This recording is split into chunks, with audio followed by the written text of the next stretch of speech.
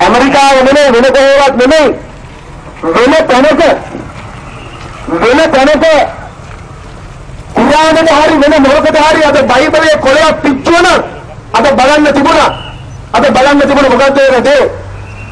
අපි අපේ බුද්ධ ආගමට අනුව ඒ අවිහිංසා ධර්මයේ මත පදනම්වයි අපි අපේ විරෝධතාවය මේ දක්වන්නේ. නොදගත් උසස් නිලධාරීන්ට අපිට කිසිම ගැටුමක් නැහැ. හැබැයි පොලිසිය කියලා කියන්නේ ප්‍රශ්න වැඩි කරවතරක් නොවිය යුතුයි.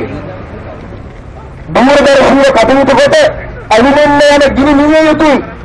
එනිසා බුදු බල සේනාවේ නියම අපි දැන් දින ගණනාවක ඉඳලා මේ වට සුද්ධ කරන්න පටන් ගන්න තියෙන්නේ ශාසනයෙන් හොරුත් අපි අල්ලනවා මේකට පරල මේ පිළිතු කරන්න හදන ඌරන්වත් අපි එකතලයේ කියලා පරද්දනවා කියන එක මේ වෙලාවේ මතක් කරමින් අපි තව ටික වෙලාවකින් අපේ සත්‍යග්‍රහය ආරම්භ කරනවා අපි පිළිත් කියන මහතාරයකට කොතනක් එකයි?